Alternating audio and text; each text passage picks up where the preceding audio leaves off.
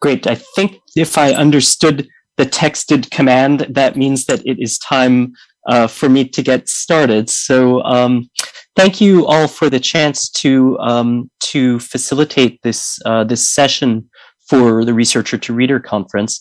Um, and sincere apologies that it's not possible to um, join together in person. I think all of us um, would would really um, like to have a chance to connect face to face on a session like this one, um, and hopefully uh, it will be possible to do that again before too long. Um, Mark, thank you, Mark Carden, thank you for the heroic work you've done to um, to organize this conference. I know that uh, I know that you've basically organized two or perhaps three conferences at the same time this um, for this cycle, uh, given all the complex logistics. And so, to you and the whole team, thank you for for making this possible. Um, so. Um, we're here to talk about um, acquisitions and, and mergers. And uh, as as as so many of you will appreciate, the landscape uh, before us has seen a, a, flurry of acquisitions in in in recent years.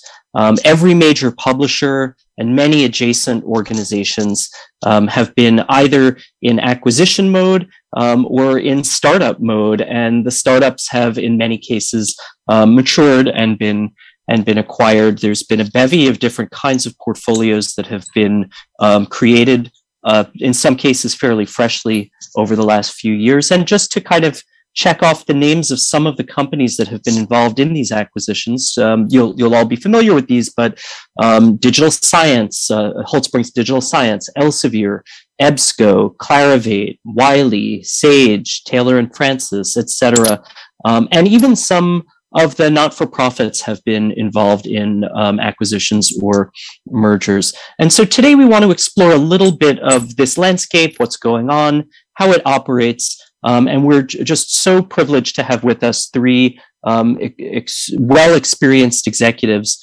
um, who will um, will will walk us through some of the some of the major uh, issues before us. Um, let me introduce them by uh, alphabetical order through last names. Um, Andrew Preston, who um, who founded Publons and um, eventually sold it to Clarivate. Um, and subsequently has been uh, involved as a founder of Cassyni. Um, although uh, we will um, be speaking with Andrew on the as a sort of representative of the buy side, excuse me, the sell side, the sell side in the sense of selling things uh, to companies, selling startups to companies. I do want to clarify that he's not currently affiliated with Clarivate in, in any way. Um, secondly, we have Martha Sedgwick, who is the Vice President for Product Innovation at Sage and a key architect of Sage's strategic investment uh, work, uh, for example, acquiring uh, Data Planet, Lean Library, and a number of other uh, very interesting, uh, interesting services and firms. Um, and then um, third is Todd Toler, who is the Vice President for Product Strategy and Partnerships at Wiley. Um, he is a key architect of Wiley's strategic investment strategy. Um, in recent years, that's included, for example, Hindawi, uh, J&J Editorial, and um, I believe most recently Knowledge Unlatched.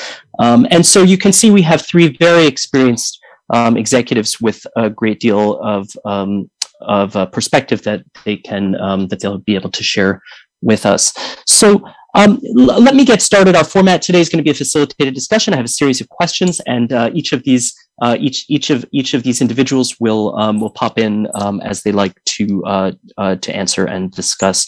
So let's start by distinguishing between two um, two forms of acquisition. There's at least two basic forms of acquisition. One is sort of an investment portfolio model, uh, for example, in the way that a private equity firm might try to um, identify uh, uh targets that can um, that can grow financially. Um, and a second of, of, of, of those um, is a strategic investment portfolio, which is much more common in, in our sector. But we have seen some exceptions. I think um, at one stage, digital science was uh, maybe a hybrid or even a little bit more of, of an investment rather than a strategic model. Um, so in, in your work, uh, I'll ask all three of you, um, can, can you uh, talk a little bit about how you found investment acquisitions and strategic acquisitions. Are those two fairly separate ways of thinking about either selling or buying a company, or are they actually? Is there actually sort of a gray gray zone where they're they're on the same um, spectrum? Martha, why don't I start with you? You look like you're looking for the unmute button. Yeah, I was. I was like, who, who, who who's going first? Um, I think um, I think w- when we look at the acquisitions, certainly the ones that I've been involved with um, at Sage, we we sort of see them as investments. You know, each one has been um, uh, made to move us into a new area of the business. And so through the acquisitions, we look to acquire new skills and experience um, internally and um, and for businesses that also that through our investment uh, we can sort of drive um, additional, you know, uh, we can accelerate their sort of growth trajectory. So, you know, we've experimented with a number of pure investments, you know, um, maybe one around the table here. Um, and they've been sort of in highly strategic areas, you know, where we've been looking to learn something specifically, but it, it, those don't tend to be how we sort of focus in terms of strategic growth. They don't feel quite right to us. Often investments, I think, are necessarily quite arm's length uh, when it comes to sort of involvement in a, in a business and the relationships you develop. You often you you know you you need quite deep pockets to build out your portfolio. So you've got this sort of you know you expect most of the those investments to sort of you know those businesses to fail but some to really succeed. And and um and i guess our pockets aren't quite so deep to uh, support that sort of range of risk that, that that you'd be looking for in with that sort of approach. So you know i, I think what we uh, really value with with the sort of with the acquisition you know investment through acquisition um is uh, is the relationships we build. You know, I, I, was sort of saying about sort of bringing in expertise and experience. You know, it's we're looking to learn through doing it, but also looking to sort of support those businesses through um, our sort of brands and our endorsements, support them in the market um, with our existing sort of customer base, and then maybe also through our operations. So often, you know, depending on the size, but smaller businesses can really get um, a lot from things like just HR functions, legal support, finance, that sort of thing as well. And um, so, yeah, but we the, the approach we've taken with technology from Sage has been about bringing in smaller software services and um, investing in them for that accelerated growth. Todd, Andrew. Yeah, I'm happy to go next. I, you know, it's interesting this nomenclature that you know the sort of financial versus strategic. We we don't use those kind of terms. I mean, we're never financial buyers at Wiley. We're always looking for something that can either accelerate a strategic direction that we're going in or that we can add value to. But I would say within that framework, there are two kinds of acquisitions. There's kind of the tuck in ac- acquisition. I'll call it a tuck in because it looks so similar to what you're already doing that you can basically tuck it into an existing line of business and it provides growth and there's a strong you know sort of synergies rationale for doing that versus the transformative acquisition which for us would be something like knowledge unlatched which is not what we're doing now. It's a direction that we're interested in moving perhaps elsewhere in the, val- the value chain and you're using that kind of inorganic growth um, strategy of buying another company to get there faster than you could do it on your own. So that's definitely like the framework that we that we would use that's really helpful. Thank you. I, I like that characterization, tuck in versus strategic. Makes a lot of sense to me. And I, to, to, answer your like, um, like direct question, Roger, I do think that they are quite different things, a tuck in versus a strategic um, acquisition, particularly in terms of how you model things, like the, the story you put together for why this acquisition makes sense. Um, and by the way, that also kind of this applies to, in case anybody's interested, to the way you raise money for um, for a company as well as um, an acquisition, something Martha earlier. Um, but whichever whichever sort of thing you're doing, a strategic versus tuck-in, and exactly how you're modeling business, at the end of the day, it has to make financial sense. You know, there has to be some numbers at the bottom of the model. So there is that commonality between the two. Thank you. Um, so, so now I want to turn to um, to turning back to some of the really helpful ways that um, that well, both Martha and Todd, that you sort of characterize the way you think about investments within the context of a port of a strategic portfolio or a strategic or a corporate strategy. Um, in in a strategic portfolio, there's a there's necessarily a connection between strategy, whatever that whatever that may be, um, uh, and um, and the acquisitions uh, approaches that that you might take. Um, that those should be interlinked. So. Can you walk us through? This is, I think, Andrew, this is more of a question for Martha and, and Todd, though happy for you to jump in as well. But um, how does corporate strategy guide acquisitions? Um, uh, or how much does sort of fortune or opportunism play a role hey this thing is on the market we should we should snap it up like can can you talk to us a little bit both about how corporate strategy and how opportunism um, work within within the context of of this work should i go first this time? I i you know that's actually one of the the, the, the, key parts of the job is to try to be proactive and not wait around for the the bankers to kind of shop the companies and then you know suddenly you're reacting to a investment prospectus that's on a formal timeline and then you're trying to decide as a company whether you want this or not. And that often will get you into kind of a bad position internally because um, you're making kind of a post hoc rationalization or trying to map it to a strategy um, so we try to do the opposite we try to work a pipeline um, and basically identify what, what, what our strategic drivers are, what would some inorganic growth opportunities look like, and then start profiling the companies in that space. And it's actually my job to to know all the people and the founders. You know, I know I've probably talked to Andrew, you know, every six months for 10 years. Like I know who all the, the founders are. And so that I can kind of tell what's going on. And even if it does go with a banker, like we're pretty ready for it. So that's, that's definitely, um, that, you know, that's uh, that's the way, way we think about it. But that, you know, sometimes opportunistic, it just happens. It's like this is just, oh wow, this is on the market. We we can't not look at this.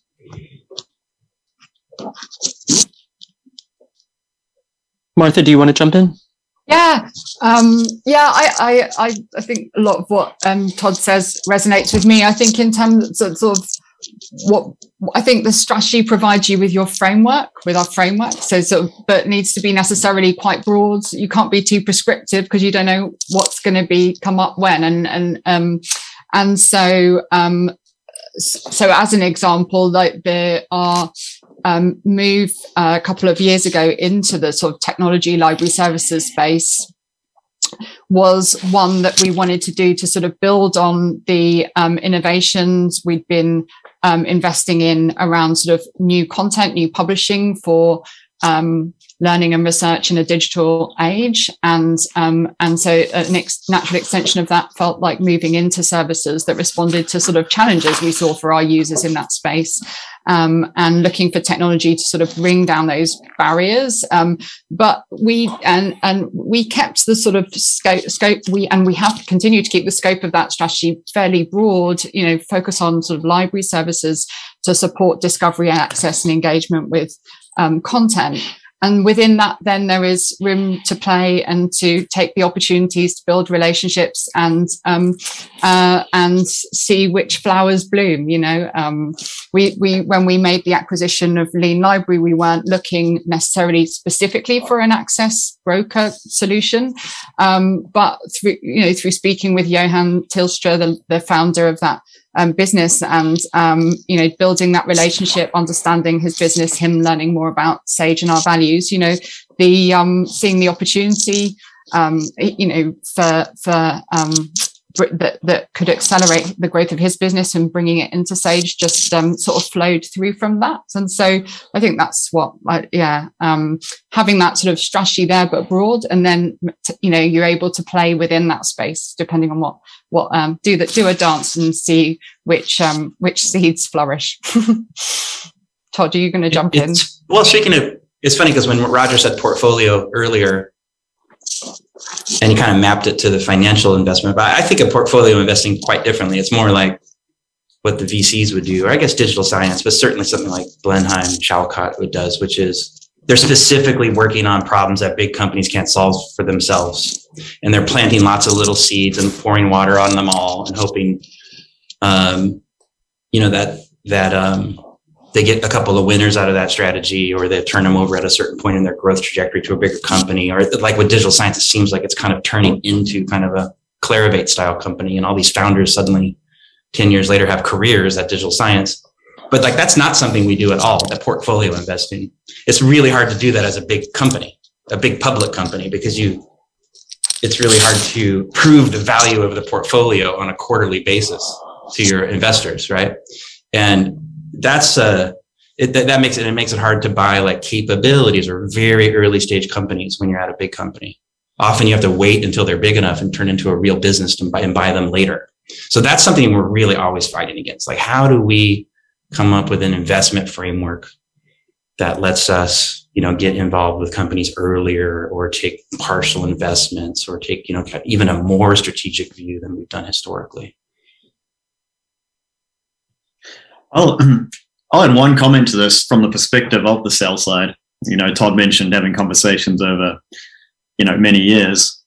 I do think there is a component of fortune in all of this, which is that big company strategies change, you know, and something that makes sense now to a big company may not have made sense a year or two ago and it may not make sense two years from now as well. And so I think there is a, a, definitely a component of fortune in in this process of being acquired, a smaller company being acquired by a big company. A strategic acquisition, tuck in is separate, where um, there is this fortunate component of t- component of timing, which may or may not line up, and um, I think is very clear when you're on on the sell side, but maybe less so when you're on the buy side and you have your strategy and you're not waiting for anything. You know, you've got it. Um, so. So, so let me let me follow up on that just a bit, if if I may. Um, and I do think this this question is is for you, Andrew. Um, can you can you talk a little bit in your experience about how some of the matchmaking here actually works? So we sort of heard about it from uh, Todd, Todd and Martha sort of talked about it a little bit from the perspective of how they think about strategy and um, and acquisitions. But many startups are founded with the idea of uh, of you know here's what a likely exit might look like, right? I mean that's that's not an uncommon thing for experienced founders to have have in mind. Can can you talk a little bit about how that can work and you know what the what the um, you know what the, the the sort of matchmaking process can can look like in in your experience? I think there's probably two things there, right? There's the founding and the kind of the the goals behind that. I guess speaking for my startups, it's I mean you have to think about these things: who might be an acquirer and that sort of thing, who might be an investor, etc. But certainly for me, at least, the, the founding was all about a mission and trying to affect some change in the world. Uh, much more that than who might buy you at some point in the future. And in fact, that mission can then really does drive you know decisions you make about investment and subsequently acquisition. I think that's the guiding light through all of this. Just the first thing to say. I think second thing on matchmaking, I've not worked with a bank. We it up, decided not to. Um, but for me, from from what I can and from what both Martha and Todd have mentioned as well, the relationships, the pre-existing relationships, are key. You know, knowing the people um, in these different businesses, whether you're on the buy side or the sell side, um, and when these strategic alignments do come up, uh, finding out about them because that's when the conversations can be had, and you can can come up with um, concepts and ideas that can can start to make a lot of sense and get pretty exciting very quickly. So on the uh, not worked with a bank observation, um, we I, I, would like to talk a little bit about um, pricing and um, bidding, if that's if that's a term that will that will resonate. So um, when Clarivate was announcing its acquisition of ProQuest uh, a year ago or so, um, the Clarivate CEO uh, claimed that they this is a quote don't do anything that is out for bid um, mm-hmm. And I think that that that claim caught a number of of informed observers by surprise. Um, so can can you, putting aside that particular claim for a moment, um, can you share anything, um, uh, you know, from the perspective of the company being acquired? Is there any benefit to doing an exclusive deal of only talking to one possible acquirer, or um, you know, how does how does that how does that work, Andrew? Well, I don't think it's either or, right? Typically, through these processes, there will be conversations with many potential acquirers. Um, uh, I guess early on they're just conversations. Later on, there there's a bit more direction to them. but at some point, you're going to get to a stage where you need to sign some sort of term sheet, and there's going to be some sort of exclusivity process there. And so I think inevitably it does become exclusive at some point, um, whether you're going through a bank or otherwise. Um, and I actually, you know, coming at this from a strategic perspective or, or a mission oriented perspective, I think there are disadvantages for sure, which are kind of obvious to everybody. But I do think that exclusive period is, is very important as it is an opportunity um, and a necessary opportunity to develop that joint strategy for what the business will become within the larger company. So um, yeah, that's how I see it. Martha, Todd, would you like to would you like to jump in on on any part of that at all?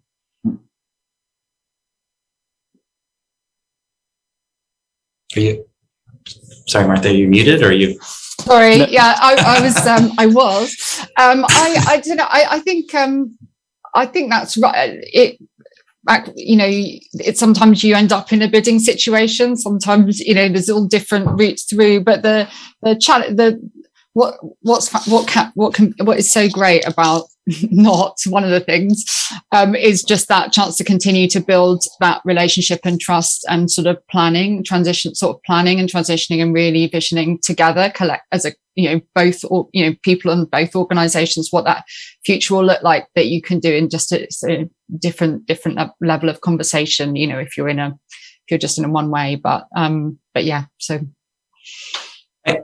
have to. I think that quote by Clarivate was kind of ridiculous. So I, I, I guess I, I, being as sympathetic as possible. What they must it must have been more like what I was saying is that they don't do deals that they're not already predetermined.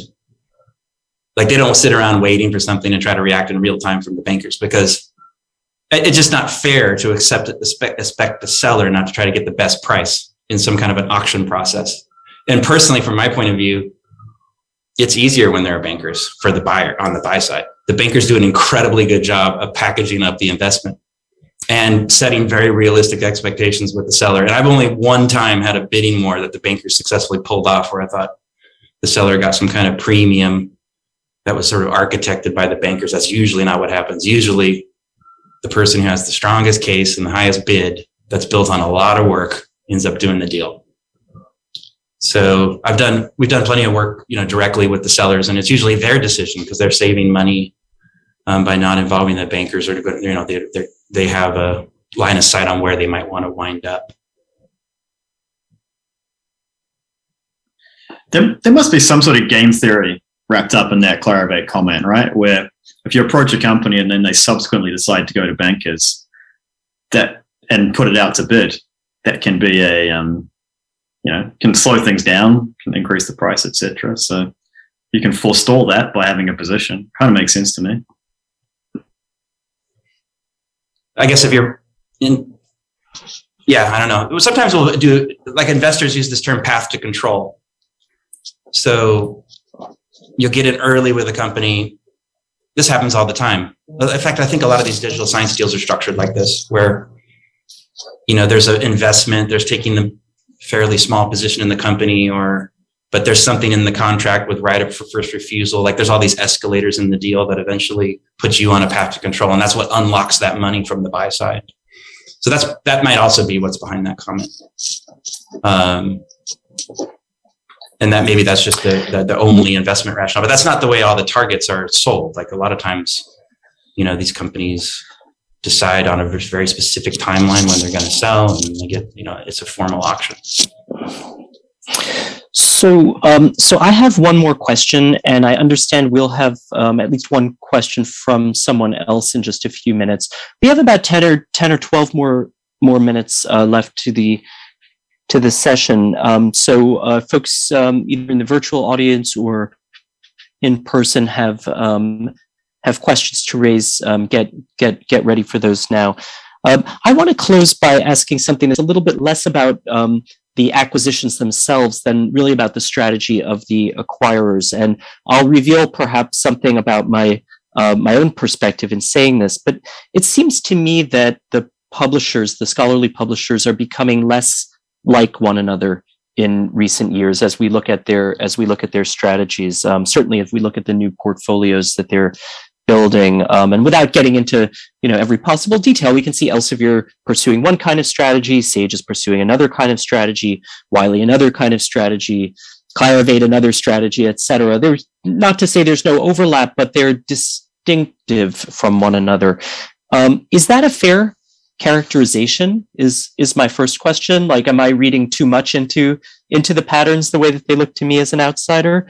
Um, and and and if it's a fair characterization, how does that affect um, competition and bidding in the marketplace? Is it is it for, for for acquisitions? Is it sort of clear that well, actually, there's only one or two of these that would make make sense for a given startup, or um, or or how does that work? So I'm so I'm curious if you see this differentiation, and if so, what what some of the effects might might be.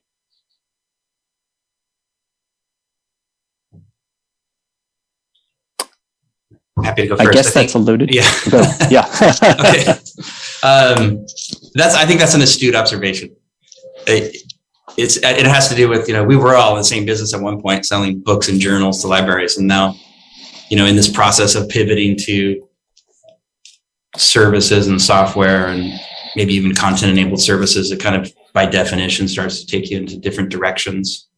And it, it's very interesting though that, you know, on any particular like transaction or acquisition, you're always trying to figure out who else the buyer is. And it's just not obviously like your, your competitors in the old journal business. Um, it's very clear that everyone's executing different playbooks. I think that's, uh, and there's all kinds of people from other industries that are getting involved in the kind of transactions that the, the publishing companies are angling for. So it's very interesting time certainly i think when we moved to um, our journals to Atypon a few years ago we weren't uh, we weren't imagining that there would be a future state where wiley would have acquired Atypon and so the, the world it feels like has changed you know changed quite a lot you know this landscape in in these newer areas for sure. And so, and I agree with that, with what you're saying, Roger, and Todd, you know, that, that it feels that, that we're becoming more distinct in these new spaces, but our traditional businesses still are significant, you know, sizes and, um, and I think still compete in the, in the same way. So I, I yeah, it will be, it'll certainly be really interesting to see how we keep evolving. Certainly as Sage, the, the, the drive, the sort of f- focus around our innovation strategy has been around our sort of grounding in the social sciences, you know, uh, you know, and our sort of networks and uh, you know, author networks, editor networks in those spaces from our book and journal programs. That's where our sort of publish innovations in our publishing uh, have moved, and then the the technology building up from there. And that does feel sort of quite distinctive for us. But um, yeah, so this, this kind of divergence is is interesting. It comes back to the the discussion about um, you know fortune and you need strategic alignment between the buyer and the seller. And if everybody's doing kind of operating different strategies now then i think that fortune component becomes a little bit more important possibly because you've got to find the right the right match. Um, but it is I, I also think some sense a little bit more of a dynamic marketplace than i'd thought a couple of years ago. And the, the most recent example of that is this H1 acquisition of um, of faculty opinions, which just happened the other day. You know, and I wouldn't necessarily have seen that coming, you know, two years ago. So. Thanks, thanks, thanks, everyone. Um, and it's good to good to hear if the marketplace is staying dynamic. So that's uh, that's that's uh, that's reassuring, Andrew. Um, I, I, understand that Stephen Pinfield will join us now to uh, to ask a, a question of his own. Stephen.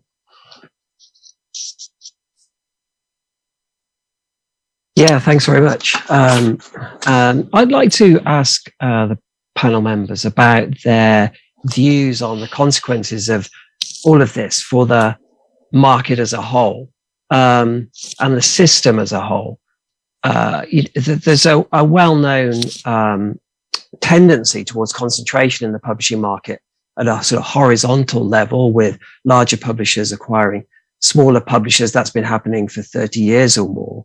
And more recently, we've seen a more vertical integration, vertical concentration tendency with uh, publishers taking over workflow providers and other providers within the more general scholarly communication space. So my question is, um, do they see this as positive for the system as a whole rather than just individual companies who are making those acquisitions? Um, and are there any negatives which they see, once again, for the system as a whole and for other actors in the system rather than just the publishers concerned? And if there are negatives, how should they be addressed?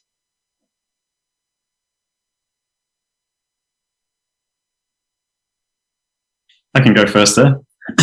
um, case by case, right? It, it, I think it varies by acquisition. But speaking to my own experience and being a, a having a mission led business where we were trying to affect some change in the world, um, I think it's incredibly positive this sort of opportunity because the only reason it happens is if um, you have a, an expectation that you can affect greater change as a result of the acquisition. And I think in our case, that certainly played out and for the better um, for the ecosystem as a whole. But that's just one case, you know, case by case basis. Thanks, Stephen. I, I think, um, you know, it's interesting. I think when Wiley, when big, the big publishers are buying the small publishers, the the narrative is that the small independent publisher gets crushed. And now that the big publishers like Rogers that are doing different things, like for instance, you know, different views on how the future of research communications will will look. We're still hearing that the small independent publisher is going to get crushed. Like that doesn't that sort of meme or it doesn't disappear. But I, I, I actually agree with what Andrew said that I think it's it feels less like consolidation to me right now, especially through M and A. It feels like there's a lot more options. The competitive landscape is changing extremely fast and like, for instance, our pivot into like take J and J editorial. I'll just not to talk too much about what Wiley's doing, but you know, we used to sign, we used to buy content or acquire it off of societies and sell it in part of our big database. And now we're pivoting into these sort of standalone services that uh, independent publishers can pick and choose almost a la carte, like the kind of offerings we're doing. That's a pretty fundamental pivot away from trying to consolidate our sales power for subscription content like so that's just one example where i think it's the dynamics working positively for the ecosystem. Yeah it's it's very hard to answer. Your question in like what in a in a in a sort of with a pithy response i feel like we could have another six hours um, thrashing it out and it would be fun to do that maybe at dinner at another conference next year. But um yeah, I hope the hope is that it, you know we continue to sort of invest in businesses. There is no shortage of sort of problems to be solved in the space, no shortage of startups emerging, and sort of and that this you know that us looking taking sort of different tacks looking in different areas creates more opportunities and um, certainly with the approach that we've taken with many of our the acquisitions into SAGE we have whether it's businesses like Adam Matthew Data Planet the library the the intention is to bring the businesses in, but to preserve a level of sort of independence around their sort of governance, around their structure, their brands, their sort of organization. Um, but to invest in their sort of growth, giving them a level of autonomy and the feedback um, from from you know the from the, from the founders and the businesses and the customers is very positive about those relationships that then can last, but um, with additional support to grow.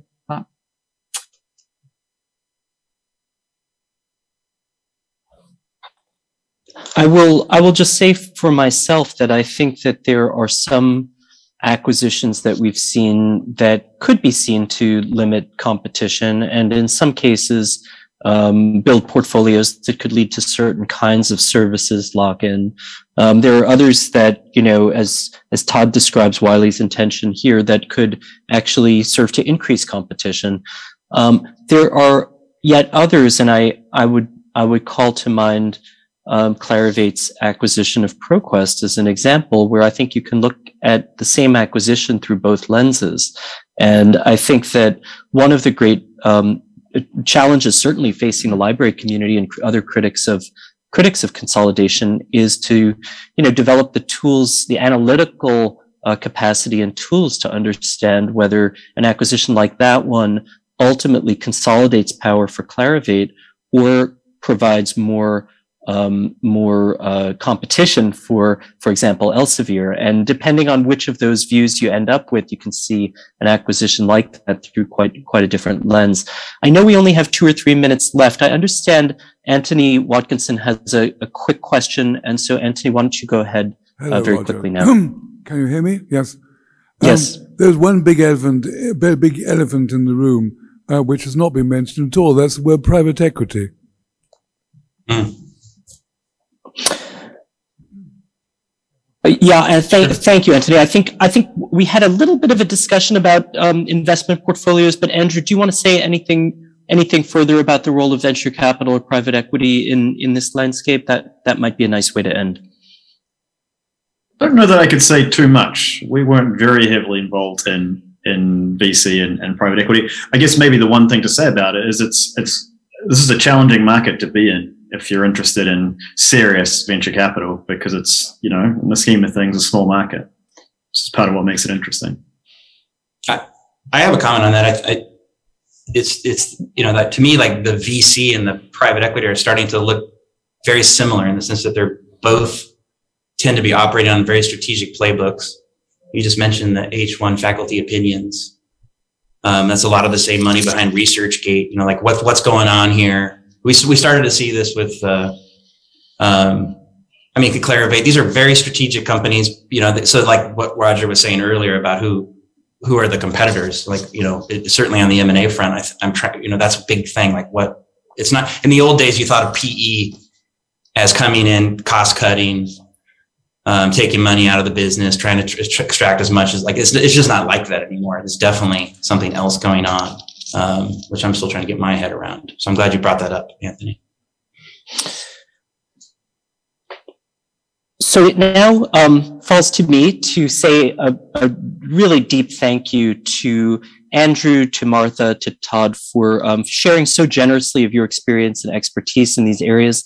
This is such a dynamic arena. There's so much more we could have talked about. Um, uh, Mark messaged me a moment ago to remind me that there's a whole set of questions after the acquisition is completed where we could talk about integration and some of the um, successes and limitations of, uh, of the post-acquisition dynamics. So perhaps that will be our panel uh, next time. Um, part two of the debate is uh, is about to take the stage. Um, Rick, Rick Anderson, I believe, will be facilitating that. Um, if you are online, I understand that you'll be going back uh, and uh, back to the timeline and selecting the debate. And uh, with that, I just want to uh, thank the panelists, thank the audience, and thank Mark for uh, for the chance to uh, to have this panel today. Have a have, have a great rest of your conference. Thanks, Roger. Thank you. Bye bye.